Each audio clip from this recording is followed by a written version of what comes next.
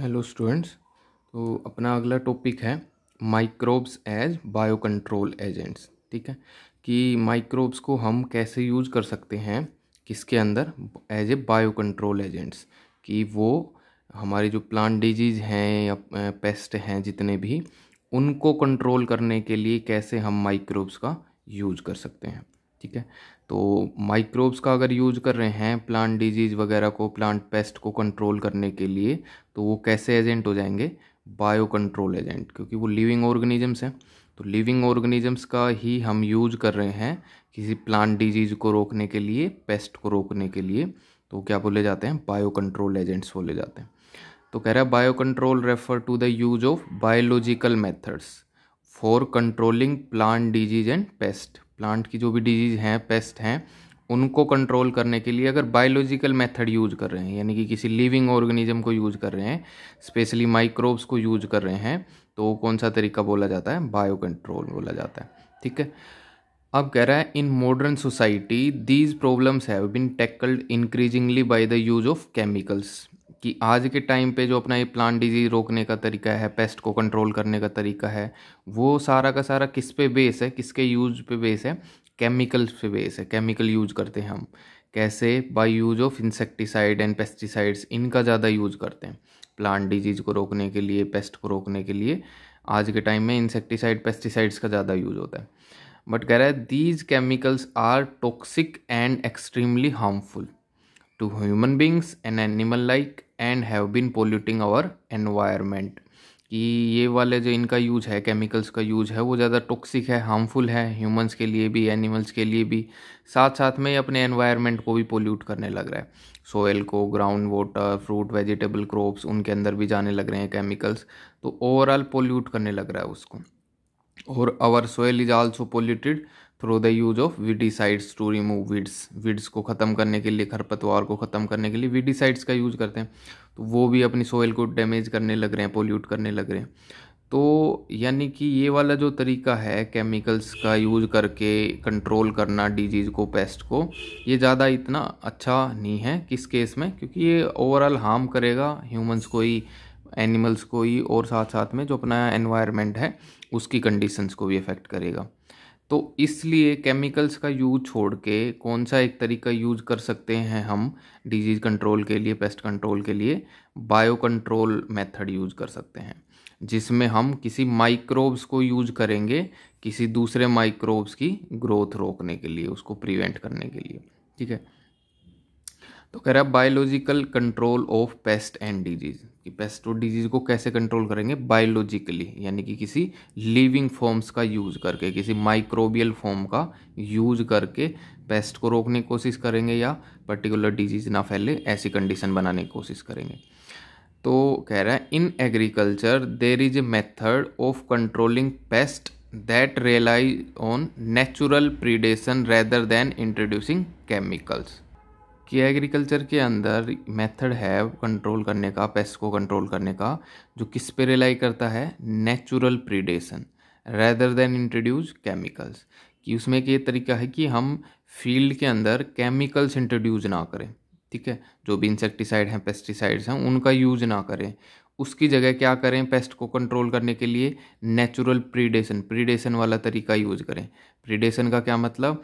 कि आपका जो पेस्ट है उसका जो प्रीडेटर है प्रीडेटर माइक्रोब्स है या कोई और और कोई भी लिविंग ऑर्गेनिज्म है, उसको अगर हम इंट्रोड्यूस कर दें, मान लो एग्रीकल्चर फ़ील्ड में, उसको, उसके प्रीडेटर को इंट्रोड्यूस कर दें, जो आपका पेस्ट है, उसके खिलाफ वाले को तो वो ही उसको किल कर देगा पेस्ट को किल कर देगा, जो उसका प्रीडेटर है, जो हमने इंट्रोड्यूस किया एग्रीकल्चर फ़ील्ड के अंदर।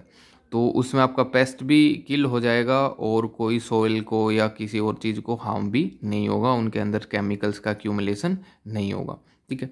तो एग्रीकल्चर में ये एक मेथड आता है जिससे हम पेस्ट को कंट्रोल कर सकते हैं, जो कौन से तरीके पे पेश होता है? प्रीडेशन पे, कि उसमें आप उस पेस्ट का प्रीडेटर इंट्रोड्यूस कर दो, वो प्रीडेटर उन पेस्ट को क्या कर देगा? ख़त्म कर देगा और इस केस में हमें कोई केमिकल्स भी नहीं डालना पड़ेगा।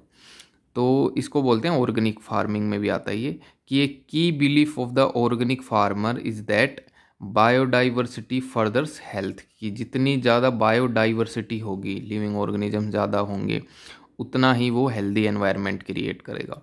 The more variety a landscape has the more sustainable it is जितनी ज़्यादा वेराइटी होगी वेराइटी मतलब जितनी ज़्यादा डाइवर्सिटी होगी तो वो जितनी ज़्यादा डाइवर्सिटी होगी, उतना ही कोई भी इकोसिस्टम है, वो ज़्यादा सस्टेनेबल रहेगा। फंक्शनल रहेगा मेंटेन रहेगा, ठीक है?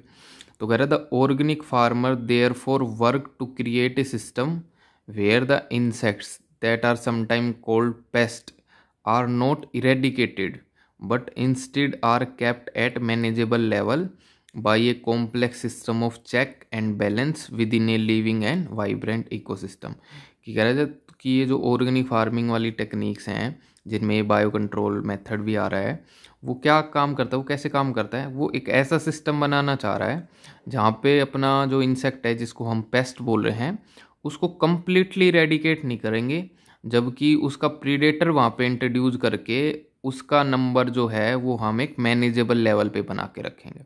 मैनेजेबल लेवल इतना लेवल उस पेस्ट का रहे कि वो हमारी क्रॉप को डैमेज ना कर पाए। ठीक है?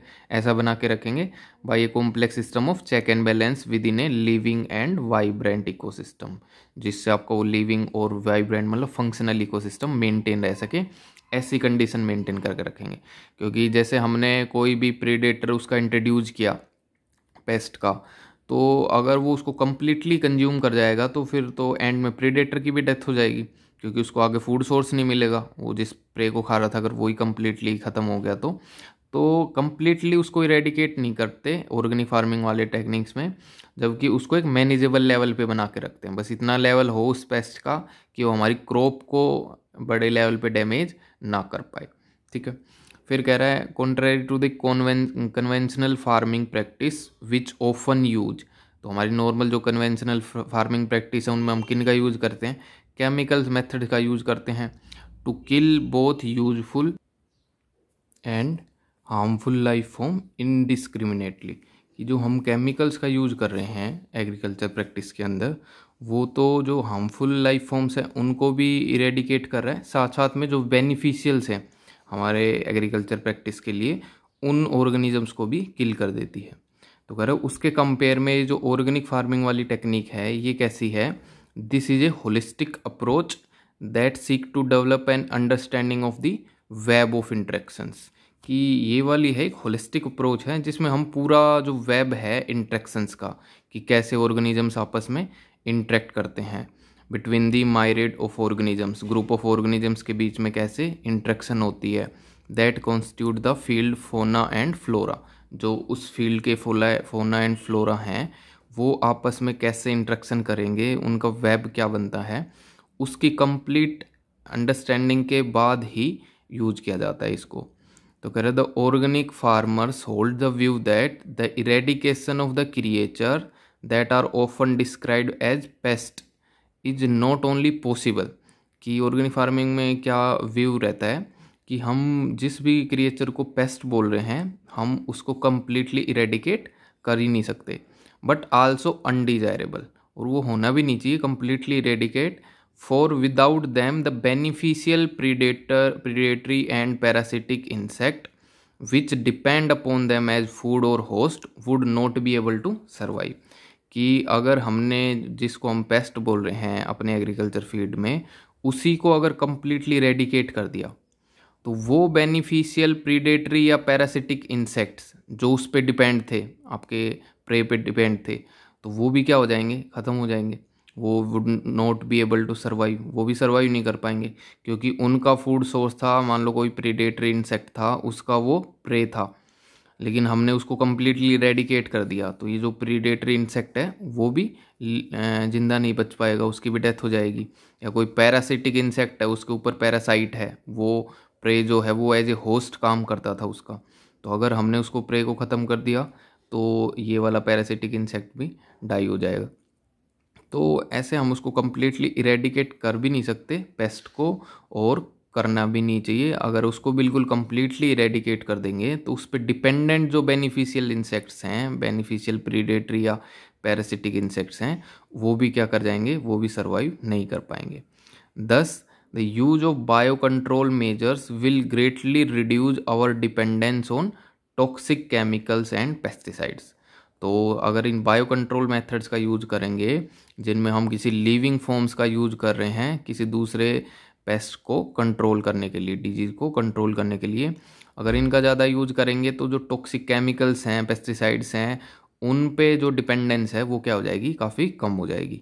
और अगर उन पे डिपेंडेंस कम हो जाएगी तो अपना पोल्यूशन है एनवायरमेंटल पोल्यूशन वो काफ़ी कम हो जाएगा। एनिमल्स के अंदर और ऑर्गेनिजम्स के अंदर ह्यूमंस के अंदर इन केमिकल्स का एक्यूमुलेशन कम हो जाएगा। ठीक है?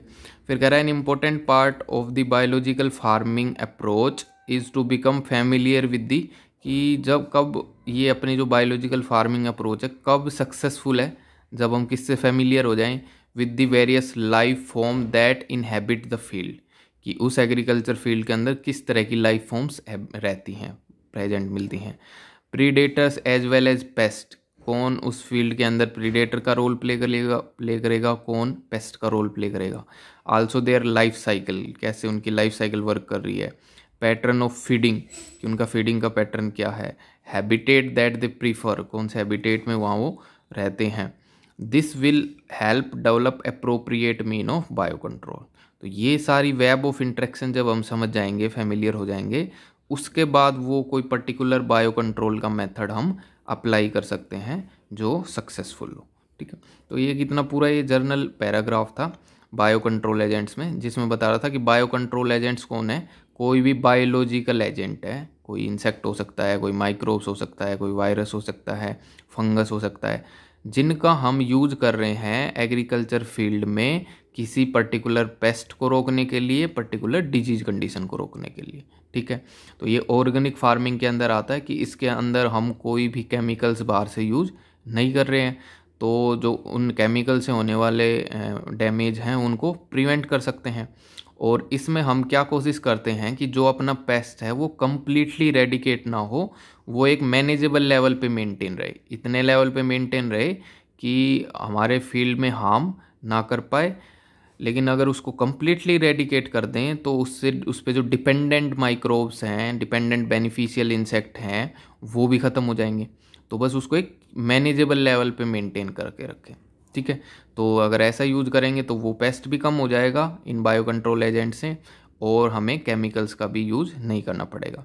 लेकिन इसके लिए अपने को क्या है, जो वेब ऑफ़ इंट्रैक्शंस हैं, कि आपस में कैसे इंट्रैक्ट करते हैं, वो समझ में आना चाहिए। उनकी अलग अलग लाइफ साइकिल पता होनी चाहिए, कौन प्रेडेटर का रोल प्ले करेगा, कौन पेस्ट की तरह काम करेगा फीडिंग पैटर्न क्या है उनका, कौन से हैबिटेट में रहना प्रीफर करते हैं उस फ़ील्ड में वो।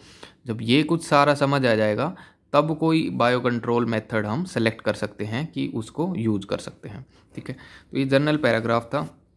अब इसके अंदर चार एग्जाम्पल्स बता रखे हैं अलग अलग बायो कंट्रोल्स के चार एग्जाम्पल्स हैं कि किस किस को हम as a bio control use कर सकते हैं और किस पेस्ट को कंट्रोल करने के लिए, ठीक है?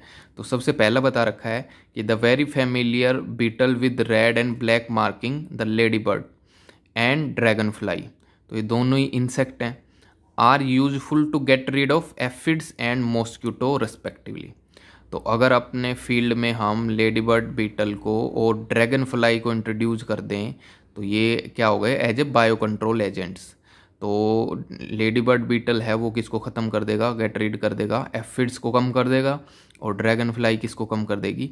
मॉस्किटोज को कम कर देंगे, ठीक है? तो ये क्या हो गए? बायो कंट्रोल एजेंट्स हो गए लेडी बर्ड बीटल और ड्रैगन फ्लाई जो किससे गेट रीड ऑफ़ होने में हेल्प कर रहे हैं? एफिड से और मॉस्क्यूटो से इन दोनों से रेस्पेक्टिवली ठीक है? तो इस केस में हमने एक इंसेक्ट ऑर्थ्रोपोड्स ही यूज़ किया, दूसरे ऑर्थ्रोपोड्स को इंसेक्ट्स को ही कंट्रोल करने के लिए, ठीक है? फिर दूसरा एक एग्ज़ाम्पल क्या आता है? An example of microbial bio control agent इसमें तो हम एक इंसेक्ट यूज़ कर रहे हैं ऑर्थ्रोपोड यूज़ कर रहे हैं, लेकिन एक माइक्रोब्स एक बैक्टीरिया भी यूज़ हो सकता है as a bio control agent तो कह रहा है एन एग्ज़ाम्पल ऑफ़ ये दूसरा एग्ज़ाम्पल है अब an example of microbial bio control agent that can be introduce in order to control butterfly caterpillar butterfly का जो लार्वल स्टेज होती है कैटरपिलर उसको हम कंट्रोल कर सकते हैं। कैसे? Is the bacteria bacillus thuringiensis often often written as BT तो बेसिलस थ्यूरेंजेसिस बैक्टीरिया है, उसको हम यूज़ कर सकते हैं इंट्रोड्यूस कर सकते हैं किसको कंट्रोल करने के लिए? बटरफ्लाई के लार्वल स्टेज को कंट्रोल करने के लिए कैटरपिलर को कंट्रोल करने के लिए। तो these are available in sachets as dried spore dried spore की फॉर्म में मिलते हैं। Which are mix with water इनको वाटर के साथ मिक्स करें and spread on to vulnerable plant such as brassicaceae and fruit trees तो ब्रासिकेसी में फैमिली के जो मेंबर्स हैं और फ्रूट ट्रीज हैं, उनके ऊपर हम इनको स्प्रे कर सकते हैं, जो भी अपने वनरेबल प्लांट्स हैं, जिन पे कैटरपिलर ग्रो करता है। तो पानी के साथ वाटर कंडीशन वाटर के साथ मिक्स करें और उसके उसके बाद स्प्रे कर देंगे किस पे? ब्रासिकेसी ट्री पे और फ्रूट ट्री पे। Where these are eaten by the insect larva तो अगर इन पे स्प्रे कर देंगे हम इन वनरेबल ट्रीज पे, जिन पे कैटरपिलर ग्रो कर रहा है तो वहाँ इंसेक्ट जो अपना है कैटरपिलर है, वो इनको खाएगा। लार्वल स्टेज जो है, वो इनको, जो भी स्प्रे किया है बेसिलस थ्योरेंजेसिस वाला कंटेंट उसको वो खाएँगे। फिर क्या हो जाएगा? In the gut of the larva जो लार्वल स्टेज है, उसके गट में द टॉक्सिन इज़ रिलीज़ ये जो बीटी है बेसिलस थ्योरेंजेसिस ये अपना टॉक्सिन रिलीज़ कर देगा। एंड लार्वा गेट किल्ड और उसकी वजह से लार्वा क्या हो जाएगा? अल्टीमेटली किल हो जाएगा। The bacterial disease will kill the caterpillar तो ऐसे उस बैक्टीरियल डिज़ीज़ ने, उस बैक्टीरिया ने कैटरपिलर को किल कर दिया। But leave other insect unharm लेकिन वो दूसरे इंसेक्ट को क्या रखता है? जो भी उस फ़ील्ड में और प्रेजेंट हैं बेनिफिशियली उनको क्या रखता है? अनहार्म उनको कोई हार्म नहीं पहुंचाएगा। तो ये एक दूसरा तरीका है, जिसमें हम एक माइक्रोब्स को यूज़ कर रहे हैं बैक्टीरिया को यूज़ कर रहे हैं as a bio control agent किसको कंट्रोल करने के लिए? बटरफ्लाई के कैटरपिलर को कंट्रोल करने के लिए। ठीक है? फिर कह रहा है कि because of the development of methods of genetic engineering genetic engineering के जो मेथड डेवलप किए हैं इन the last decade or so the scientist have introduce bacillus thuringiensis toxic gene toxin gene into plant तो क्या किया है कि जो जो बायोटेक्स की अप्लीकेशंस हैं, उनका यूज़ करके जो बेसिलस थ्योरेंजेसिस जो टॉक्सिन प्रोड्यूस करता है, जो प्रोटीन प्रोड्यूस करता है टॉक्सिन वाली उसके जीन को आइसोलेट कर लिया गया। उसका जीन बेसिलस थ्यूरेंजेसी से निकाल के किसके अंदर इंट्रोड्यूस करा दिया गया? प्लांट्स के अंदर। तो प्लांट भी वो टॉक्सिन प्रोड्यूस करने लग गए हैं तो भी ये उन पेस्ट से बच जाते हैं। तो कह रहे हैं scientist have introduce bacillus thuringiensis toxic gene into plants अब such plants are resistant to attack by insect pest तो ऐसे प्लांट्स जो हैं, जिनमें हमने बेसिलस थोरेंजिस का जीन डाल रखा है टॉक्सिन जीन उन पे इंसेक्ट पेस्ट हैं, वो अटैक नहीं करते. ऐसा एक प्लांट वो बनाया है एग्ज़ाम्पल जो आपको याद करना है BT cotton is one such example which is being cultivated in some state in our country तो अब तो काफ़ी बना दिए BT cotton BT brinjal BT tomato तो काफ़ी वेराइटीज़ बना दी हैं जिनके अंदर बेसिलस थ्योरेंजेसिस का टॉक्सिक जीन ही इंट्रोड्यूस कर दिया है। तो उसकी वजह से इंसेक्ट पेस्ट उसको अटैक नहीं करते, वो उससे रेजिस्टेंट हो गए हैं, वो सारी स्पीसीज प्लांट की, ठीक है? तो ये जेनेटिक इंजीनियरिंग की हेल्प से किया है। अब दो एग्ज़ाम्पल तो हो गए पहला तो इंसेक्ट यूज़ कर रहे थे हम लेडी बर्ड बीटल और ड्रैगन फ्लाई एफिड्स को और मॉस्क्यूटो को कंट्रोल करने के लिए। लेडी बर्ड बीटल इरेडिकेट कर रहा था एफिड्स को और ड्रैगन फ्लाई कर रहा था मॉस्क्यूटो को। उसके बाद दूसरा एग्ज़ाम्पल बड़ा माइक्रोबियल बायोलॉजिकल एजेंट्स हुआ। उनमें कौन यूज़ किया? तो इसमें बायोलॉजिकल माइक्रोबियल बायोलॉजिकल इसके अंदर हम बेसिलस थ्योरेंजिस बैक्टीरिया को यूज़ करते हैं। जिनको जो as a dry spore available हैं, उनको पानी में मिक्स करेंगे और वनरेबल प्लांट जो होते हैं, अपने ब्रेसिकेसी फैमिली वाले और फ्रूट ट्रीज वाले उन पर स्प्रे कर देंगे। तो वो स्प्रे करेंगे तो वो जो कैटरपिलर लार्वा है, वो जब ईट करेगा तो उसके गट में जाके वो टॉक्सिक रिलीज़ करेंगे और इससे अल्टीमेटली कैटरपिलर की डेथ हो जाएगी। लेकिन ये दूसरे इंसेक्ट को अनहार्म उनको कोई हार्म नहीं पहुंचाता। और आज के टाइम पे जेनेटिक इंजीनियरिंग का यूज़ करके बेसिलस थ्योरेंजेसिस का वो जीन जो दूसरे इंसेक्ट्स के लिए टॉक्सिन प्रोड्यूस करता है, उसको हमने आइसोलेट करके वो जीन किसमें इंट्रोड्यूस कर दिया प्लांट्स के अंदर। तो प्लांट ही कैसा बन गया है? डिज़ीज़ रेजिस्टेंट बन गया है। बीटी कॉटन इसका एक एग्ज़ाम्पल है। ठीक है। तीसरा फिर एक केस आता है, जिसमें हम किसको as a bio control agent use करते हैं? फंगस को। तो कह रहे हैं biological control being develop for use in the treatment of plant disease तो अब हम पेस्ट को कंट्रोल करने के बजाय डायरेक्ट प्लांट डिज़ीज़ की बात कर रहे हैं कि प्लांट डिज़ीज़ को हम कंट्रोल कर सकते हैं। कैसे, किससे यूज़ करके, किसका यूज़ करके? Is the fungus trichoderma trichoderma जो फंगस है, उसको ग्रो करेंगे तो वो काफ़ी प्लांट डिज़ीज़ को प्रिवेंट करती है। रूट इन्फेक्शंस को प्रिवेंट करती है बेसिकली तो कह रहा है trichoderma species are free living fungus free living fungus हैं that are very common in the root ecosystem तो ये जो रूट वाला पार्ट रहता है प्लांट्स का रूट इकोसिस्टम उसमें फ्रीली फ्री लिविंग फंगस होती है। लेकिन जहाँ जहाँ ट्राइकोडर्मा ग्रो होती हैं, वहाँ पे वो पैथोजन बैक्टीरियल इन्फेक्शन वगैरह नहीं होता। रूट इन्फेक्शन प्लांट्स के अंदर नहीं होता, जहाँ जहाँ ट्राइकोडर्मा ग्रो करेगी। तो ऐसे ये प्लांट डिज़ीज़ से प्रिवेंट करने में रोल प्ले करती है। ठीक है? तो they are free living fungus that are very common in root ecosystem जो रूट इकोसिस्टम है, उनके आसपास ये काफ़ी ग्रो होती हैं और they are effective bio control agents of several plant pathogen तो जहाँ जहाँ ये ग्रो होती हैं, वहाँ पे काफ़ी प्लांट पैथोजन है, वो इन्फेक्शन क्रिएट नहीं कर पाते हैं, जहाँ जहाँ पे ट्राइकोडर्मा ग्रो होगी। तो इस हिसाब से कैसे काम करती है as a bio control agent use होती है। ये तो था फंगस वाला। इसके बाद आता है कि वायरस एजेंट वायरल एजेंट कौन है जो इसको हम as a bio control agent use करते हैं। तो कह रहा है baculovirus are pathogens that attack insect and other arthropods तो वो वायरल की फैमिली है जो इंसेक्ट कर अट्रैक्ट करती है अटैक करती है किसको? इंसेक्ट्स को या दूसरे ऑर्थ्रोपोड्स को, ठीक है? और कह रहा है the majority of baculovirus use as biological control agents are in the genus nucleopoly virus ठीक है? एन पी एच वी बोलते हैं इसको न्यूक्लियोपोली वायरस तो वो ज़्यादातर इस जीनस के अंदर आते हैं सारे के सारे बैक्यूलो वायरस फैमिली के मेंबर्स न्यूक्लियोपोली वायरस फिर है कि इनके एक खास फीचर क्या है इंपॉर्टेंट फीचर क्या है, कि these viruses are excellent candidate for species specific narrow spectrum insecticidal applications कि इन सारे न्यूक्लियो वायरस को हम यूज़ कर सकते हैं किस मैनर में? स्पीसीज स्पेसिफिक कि अगर पर्टिकुलर कोई इंसेक्ट की स्पीसीज को हम किल करना चाहते हैं, बाकी को अनहार्म रखना चाहते हैं तो उसमें हम इसको यूज़ कर सकते हैं कि ये पर्टिकुलर किसी एक ही वेराइटी को ख़त्म कर सकता है, उसको कंट्रोल कर सकता है। तो स्पीसीज स्पेसिफिक और narrow spectrum insecticidal application narrow spectrum में नैरो रेंज में भी काम कर सकता है। कि हम चाहते हैं कि कोई एक या दो ही जो पेस्ट हैं, वो हार्म हों, बाकी अनहार्म रहने चाहिए। तो इतने नैरो स्पेक्ट्रम में भी ये काम कर सकता है, ठीक है? ये इसका एक प्लस पॉइंट है। इसके अलावा they have been shown to have no negative impact on plant mammals bird fishes और even on non targeted insect ठीक है? साथ साथ इसका दूसरा पॉजिटिव पॉइंट क्या है कि ये कोई नेगेटिव इम्पैक्ट शो नहीं करता प्लांट्स पे मैमल्स पे बर्ड्स पे फिशेज पे, और इवन ऑन नॉन टारगेटेड जो इंसेक्ट हैं, उन पर भी कोई हार्म नहीं करता, ठीक है? अब ये वाली अप्रोच हम कब ज़्यादा यूज़ करते हैं न्यूक्लियोपोली हाइड्रोवायरस फैमिली को जीनस को कब यूज़ करते हैं?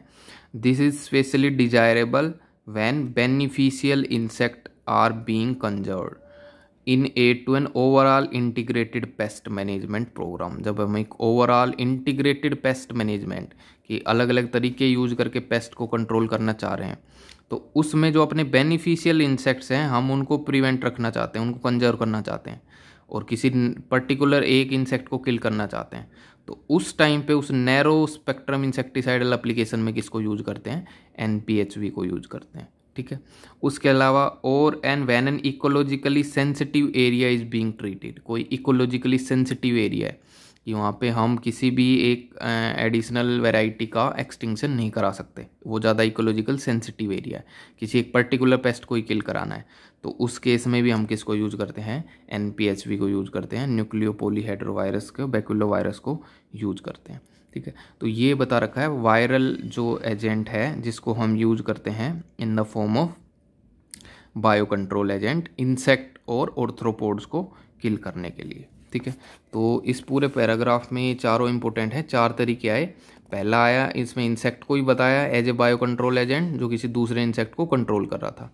लेडी बर्ड बीटल और dragon fly lady bird beetle control कर रहा था एफिड्स को, और ड्रैगन फ्लाई कंट्रोल कर रहा था मॉस्किटो को। दूसरा एग्ज़ाम्पल आया, एक माइक्रोब्स को हम as a bio control agent use करते हैं, किसको किल करने के लिए, ख़त्म करने के लिए बटरफ्लाई के कैटरपिलर स्टेज को। ठीक है? कौन सा बैक्टीरिया है? बेसिलस थ्यूरेंजेसिस उसको यूज़ कर रहे हैं। तो वो एज ए ड्राइड स्पोर मिलता है और उसको पानी में मिक्स करके स्प्रे कर देंगे वनरेबल ट्रीज़ पे। लाइक ब्रासिकेसी फैमिली के जो प्लांट्स हैं और फ्रूट ट्रीज़ हैं उन पर उनको स्प्रे करेंगे। उसके बाद जो लार्वल स्टेज है इंसेक्ट की, वो उसको ईट करेगा और उसके गट में जाके वो टॉक्सिन रिलीज़ कर देगा बैक्टीरिया जिससे उस लार्वा की डेथ हो जाएगी। लेकिन वो दूसरे इंसेक्ट्स को अनहार्म रखता है, उनको कोई हार्म नहीं पहुंचाता। उसके बाद आता है, हमने जेनेटिक इंजीनियरिंग करके ये बेसिलस थ्योरेंजेसिस का जीन टॉक्सिक प्रोड्यूस करने वाला जीन प्लांट के अंदर इंट्रोड्यूस कर दिया है। प्लांट के जीन में इंट्रोड्यूस कर दिया है। तो प्लांट ही पूरा पेस्ट रेजिस्टेंट हो गया है। ऐसे हमने क्या बनाया? है बीटी कॉटन बनाया है एक प्लांट फॉर एग्जांपल उसके बाद आता है तीसरा एग्जांपल है फंगस का, कि एक फंगल है ट्राइकोडर्मा वो प्लांट के रूट इकोसिस्टम में ग्रो करती है. तो जहाँ जहाँ रूट इकोसिस्टम में ट्राइकोडर्मा ग्रो करती है, वहाँ वहाँ पर रूट में प्लांट की रूट में इन्फेक्शन क्रिएट नहीं होता. कोई भी इन्फेक्टिव ऑर्गेनिज्म उसको इन इन्फेक्ट नहीं कर पाता. तो ये एक उसका एग्ज़ाम्पल है बायो कंट्रोल में फंगस का. उसके बाद आता है वायरल का वायरस का, कि एक वायरस है बैकुलो वायरस जिसको हम यूज़ करते हैं species specific narrow spectrum insecticidal application के अंदर, और जो किसी दूसरे पे कोई भी नेगेटिव इफ़ेक्ट नहीं डालता पर्टिकुलर पेस्ट को ही किल करने में रोल प्ले करता है, ठीक है? और जब हम आईपीएम की टेक्निक्स लगा रहे होते हैं इंटीग्रेटेड पेस्ट मैनेजमेंट की, या फिर किसी इकोलॉजिकली सेंसिटिव एरिया को ट्रीट कर रहे होते हैं तो उस टाइम पे हम किसको यूज़ करते हैं? बैक्यूलो वायरस को यूज़ करते हैं। तो ये चार तरीके इसमें आपको याद करने हैं।